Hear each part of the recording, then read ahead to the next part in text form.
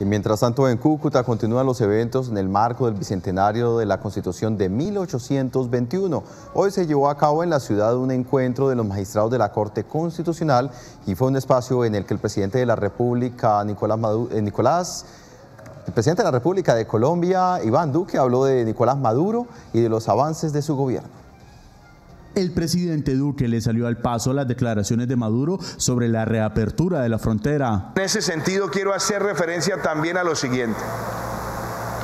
Mucho cuidado con los discursos que vienen con cantos de sirena desde la dictadura en Venezuela, que ahora salen a hablar de manera bella, invitando a que lleguen los inversionistas a ese territorio que no pretende el dictador borrar la historia, porque en el año 2015 expulsó colombianos marcándole sus casas en la más viva expresión de lo que fueron las tragedias del fascismo en Europa que fue el dictador el que expulsó el servicio consular y el que tomó la decisión de cerrar de manera abrupta una frontera. El mandatario también enfatizó su postura frente al asomo de las dictaduras en Latinoamérica.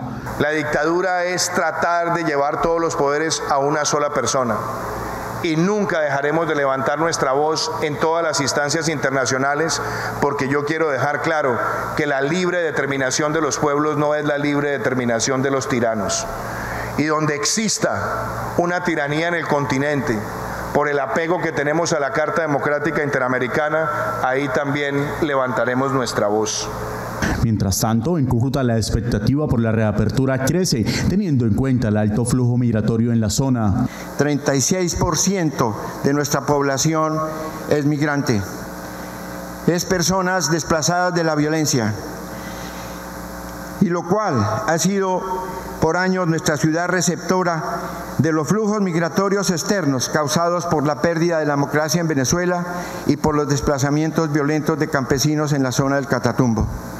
Con esta actividad finalizaron los actos conmemorativos del Bicentenario de la Constitución de 1821.